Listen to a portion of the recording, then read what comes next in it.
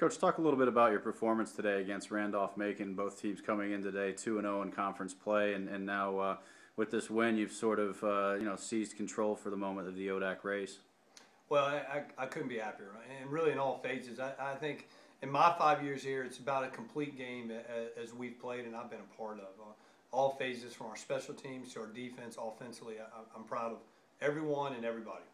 Uh, defensively, you were able to force some turnovers, and that uh, was a key uh, momentum shift early in the game allowed you to go up 14 to zip. And then offensively, it seemed like you could kind of do whatever uh, whatever you wanted. Uh, talk a little bit about the play of your defense, and then you know how you were able to come out and, and uh, you know really put it to them offensively. Well, you know, defensively, we, we just continue to get better each week, and, and I give you know Coach O'Brien and Coach Rose and Coach Deutsch so much credit. You know, they they've stuck with it and and had their beliefs and what we need to do, and our guys have bought in, and each week they get better, and that, that's great news for us. Offensively, you know, um, it, it's good to see Nick continue to grow. You know, he made great decisions with the football today. He executed our option game well, and we continue to block well up front, and our running backs continue to, to hit the holes and trust it. And when we do that, good things are going to happen. Sasha Vandeloff, uh, six carries today for 199 yards and two touchdowns.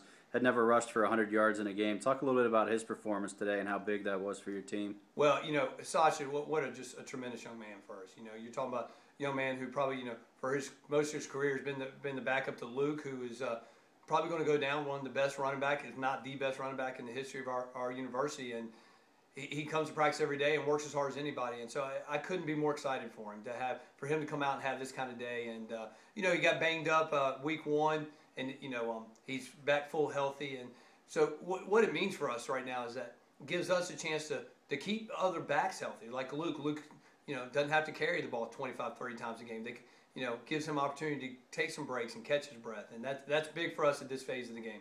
Coach, uh, congratulations on on uh, today's win. Thanks.